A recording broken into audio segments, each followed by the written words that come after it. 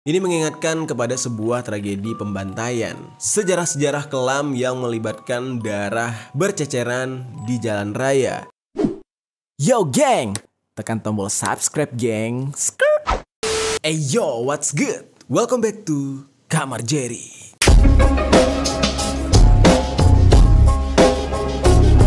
Geng-geng, kemarin sempat heboh banget di sosial media, terutama di TikTok ya. Sebuah robot yang terlihat sangat aneh, namun ditonton oleh banyak orang. Robot tersebut menjadi perbincangan hangat gitu. Orang-orang yang ada di jagat sosial media, karena banyak yang mempertanyakan sebenarnya ini apa. Dari looknya, ini robot tuh absurd banget. Itu sibuk menyapu air gitu ya, namun terlihat seperti tidak selesai gitu. Nah, nama robot ini sendiri adalah robot robot can help myself. Tidak dapat menolong diriku sendiri. Kalau dalam bahasa Indonesianya gitu ya. Nah, robot ini merupakan sebuah robot yang dipajang di dalam ruangan kaca. Memiliki daya tarik tersendiri karena menurut orang-orang makna dari robot ini tuh sangat dalam gitu ya. Dan membuat orang-orang tuh jadi kayak ketika melihat robot itu tuh secara langsung nih itu kayak terdiam dan flashback atau mengingat masa lalu masa lalu mereka gitu. Nah pasti kalian jadi bertanya-tanya nih sebenarnya robot can help myself ini dibuat untuk apa gitu ya tujuan diciptakannya. Oke kita bahas satu persatu geng. Jika diperhatikan robot ini di sekelilingnya itu terdapat sebuah cairan yang mirip darah. Cairan yang mirip darah ini menggenangi sekeliling robot dan si robot ini terus menerus mencoba untuk membersihkan cairan tersebut. Sebenarnya ini memiliki sebuah makna di mana robot ini di saat dia terus menyapu genangan darah tersebut, ini mengingatkan kepada sebuah tragedi pembantaian. Sejarah-sejarah kelam yang melibatkan darah berceceran di jalan raya. Lalu ada juga yang mengartikan kalau ini adalah sebuah upaya pemerintah untuk menahan serta membersihkan insiden di dalam sejarah yang terdokumentasi dan semua kesia-siaan dari upaya ini ini ketika yang dipertaruhkan adalah kehancuran kehidupan manusia serta keluarga mereka di suatu waktu. Jadi maknanya itu lebih kepada sejarah yang kelam gitu, geng. Nah, namun robot ini diciptakan untuk membuat orang-orang yang melihatnya itu bisa berpikir sendiri makna daripada robot itu. Dan ketika orang-orang melihat robot tersebut, memang seketika tuh kayak terdiam gitu, geng. Ini apa gitu? Aneh banget. Sebuah mesin yang terus-menerus menyapu dan membersihkan genangan darah. Nah, sebelum kita lebih jauh membahas tentang makna robot ini, kita bahas dulu siapa sih pencipta daripada robot Can Help Myself ini. Nah, penciptanya bernama Sun Yuan yang lahir pada tahun 1972 dan kerabatnya yang bernama Peng Yu yang lahir pada tahun 1974. Mereka berdua adalah seniman yang tinggal dan bekerja sama di Beijing semenjak tahun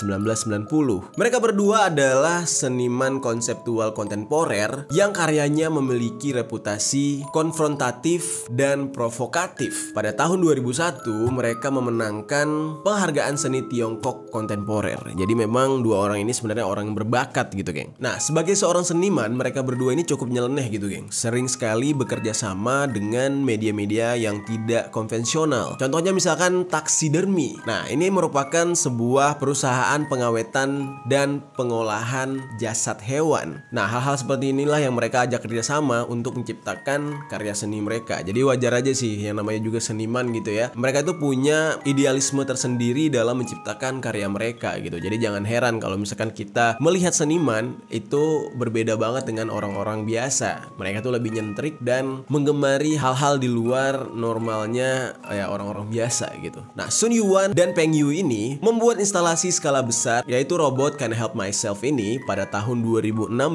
yang menampilkan sebuah robot industri yang terbuat dari bahan baja anti karat serta karet yang tertutup dalam sebuah kotak kaca. Yang membuat desain robot ini sangat aneh justru bukan bentuk robotnya, namun di mana lantai tempat robot ini berdiri itu digenangi dengan cairan yang berwarna merah tua, layaknya darah, geng. Robot ini berdiri tegak namun memiliki lengan layaknya paruh bangau, yang di mana lengannya ini terus-menerus menyapu cairan tersebut namun tidak pernah selesai. Kalau kita perhatikan, ini mirip seperti eskavator atau dalam bahasa sehari-hari itu mobil beko gitu. Kalian tahu ya yang ngeruk gunung, ngeruk tanah, ngeruk batu. Nah, mirip seperti itu. Namun, jika diperhatikan baik-baik, pergerakannya itu sungguh sangat membingungkan. Memang dua seniman ini, Sun Yuan dan Peng Yu ini, suka sekali membuat sebuah karya seni yang membuat orang itu harus berpikir dulu gitu ya. Apa maksud dibuatnya karya seni tersebut? Contoh lain selain robot Can Help Myself ini yang dibuat pada tahun 2016, mereka juga sempat membuat sebuah karya seni yang berjudul Deer pada tahun 2015. Ini merupakan sebuah kursi silikon dengan selang karet yang secara berkala mengikat sisi penutup tembus pandangnya. Karya seni yang tangguh ini sekaligus membuat takut namun memiliki daya tarik tersendiri untuk pengunjung. Nah, di saat pengunjung ngumpul di dekat karya seni ini, mereka berdiri di sebuah garis batas aman di luar jangkauan mesin karya seni Sun Yuan dan Peng Yu ini, geng. Jadi emang udah terbiasa mereka membuat karya seni yang kontroversi gitu ya. Nah, yang jadi pertanyaannya bagaimana bisa dua orang ini terinspirasi untuk membuat sebuah robot yang berjudul Can Help Myself ini? Pasti orang yang membuat robot aneh atau membuat sesuatu yang absurd kayak gini udah pasti pernah mengalami sebuah kejadian yang bisa dikatakan tidak biasa gitu. Sampai-sampai mereka harus membuat karya seni yang kontroversi dan sekaligus memorial banget gitu ya. Ketika kita melihat hal tersebut, kita jadi terbayang dengan sebuah kejadian. Nah, ternyata setelah ditelusuri, apa yang membuat mereka terinspirasi untuk membuat karya seni ini adalah kisah hidup mereka sendiri. Di mana Sun Yuan dan Peng Yu ini sudah tinggal dan bekerja di Beijing sepanjang karir mereka. Lalu, mereka sempat menyaksikan sebuah kejadian pembantaian terbesar di lapangan Tiananmen tahun 1989 di China. Kejadian tersebut adalah tragedi di mana ribuan mahasiswa yang sedang demo unjuk rasa ditembak mati alias dibunuh di tempat. Jadi pembantaian ini merupakan tragedi terbesar di China di saat itu yang membuat dua orang seniman ini jadi terinspirasi untuk membuat robot Can Help Myself ini. Lalu ada sudut pandang lain dari beberapa orang pengamat yang mengatakan robot ini diciptakan beda makna dengan yang tadi. Ada yang berpendapat kalau robot ini sengaja diciptakan untuk sebuah protes kepada pemerintah Tiongkok yang menerapkan sistem sensor terhadap masyarakatnya yang membuat kebebasan berbicara dan berekspresi jadi semakin sempit karena aturan pemerintah tersebut. Terus juga protes dalam konteks politik serta protes terhadap sistem di Tiongkok yang mengharuskan setiap orang itu bekerja tanpa henti alias mengeksploitasi masyarakatnya untuk mendapatkan keuntungan yang besar namun dengan upah yang minimum. Nah, itulah krisis yang terjadi di Tiongkok antara pemerintah dan masyarakat di saat itu yang membuat orang-orang berpikir hal inilah yang menginspirasi dua seniman tadi menciptakan robot Can Help Myself ini. Nah, lalu kenapa judulnya atau nama dari robot ini Can Help Myself? Ada dua pengertian di mana dua seniman ini membuat nama tersebut dikarenakan robot ini terlihat seperti tidak mampu menyelesaikan masalahnya sendiri. Seperti yang kalian lihat ya, dia terus menyapu kiri kanan, namun genangan air tersebut tidak kunjung selesai atau tidak kunjung kering gitu. Nah, namun ada juga inspirasi lain kenapa namanya itu Can Help Myself. Hal ini merujuk kepada penonton yang melihat robot ini, di mana para penonton ketika melihat robot ini selalu merasa bingung dan tidak mampu mendapatkan arti sebenarnya dari apa yang mereka lihat, yaitu robot tadi. Jadi makanya namanya itu Can Help Myself, tidak mampu menolong diriku sendiri, yang artinya si penonton tidak mampu menolong dirinya untuk memahami apa yang dia lihat. Nah, kurang lebih kayak gitu lah, geng ya. Jadi memang simpelnya sih robot Can Help Myself ini kenapa diberikan nama seperti itu? Lebih tepatnya karena sebuah permasalahan yang tidak kunjung selesai. Jadi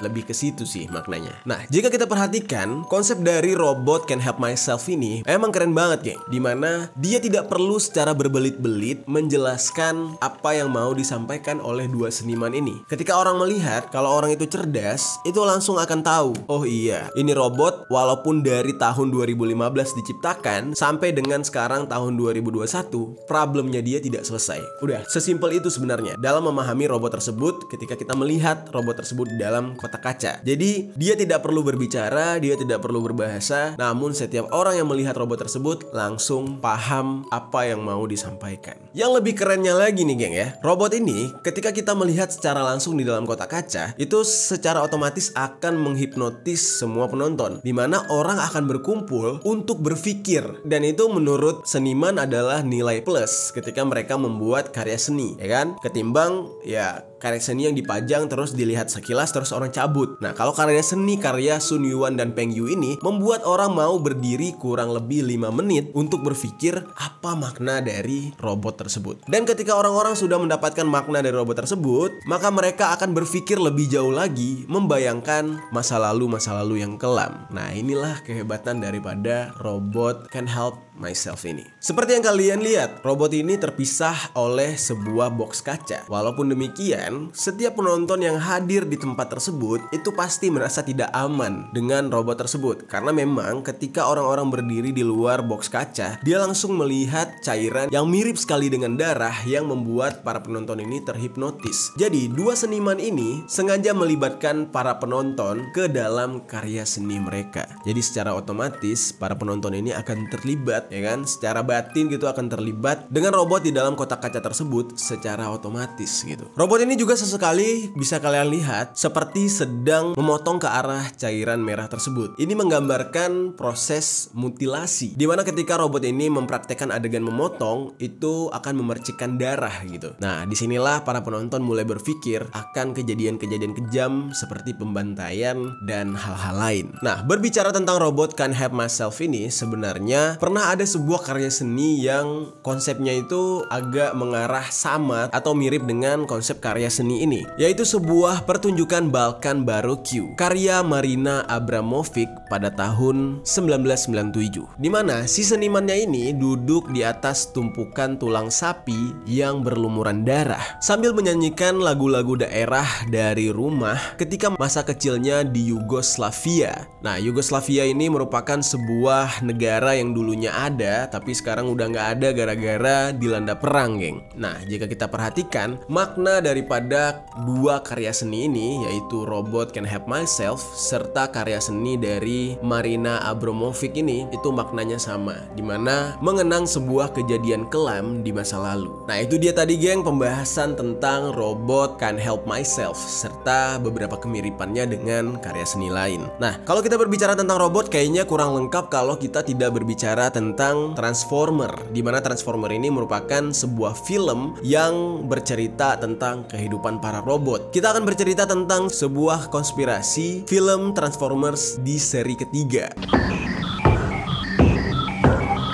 Transformer seri 3 merupakan sebuah film yang identik sekali dengan CGI. Mulai dari gambar, efek, ini ketika kita menontonnya tuh benar-benar mendebarkan gitu, geng. Film Transformer sendiri saat ini sedang dalam masa pengerjaan sampai ke seri ke-7. Namun hari ini kita akan membahas sebuah kontroversi sampai ke konspirasinya yang seri 3 gitu ya. Di dalam seri ini diceritakan bahwa ditemukan sebuah alat pengendali dari sebuah kapal auto Autobot yang disebut dengan ARC. Hal ini membuat Megatron dan kawan-kawan membangunkan yang namanya Sentinel Prime. Dia ini merupakan pemimpin di Cybertron zaman dahulu. Dan di saat itu dia berada di kapal tempat ditemukannya ARC tersebut guna menyelamatkan Cybertron dan menumpas musuh utama. Jadi mungkin kalau misalkan kalian mau cerita lengkapnya bisa nonton filmnya langsung ya. Setelah kalian menonton filmnya secara lengkap nanti kalian akan menemukan beberapa titik akan kita bahas. Nah, yang pertama nih, konspirasi pertama nih, geng munculnya karakter baru sebuah robot yang bermata satu.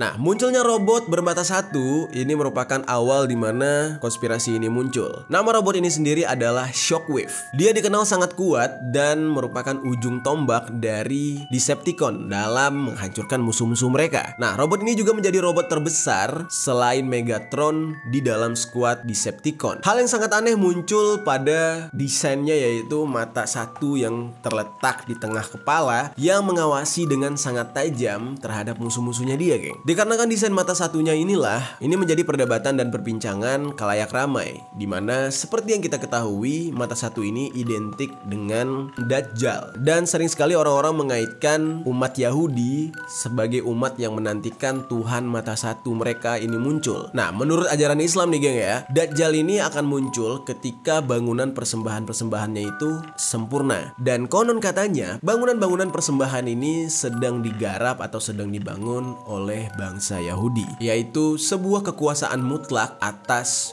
dunia. Nah, makanya ini menjadi sebuah konspirasi ya, geng. Dan kecurigaan orang-orang kenapa kok tiba-tiba ada robot yang bermata satu. Oke, konspirasi kedua, munculnya robot yang berwujud seperti ular.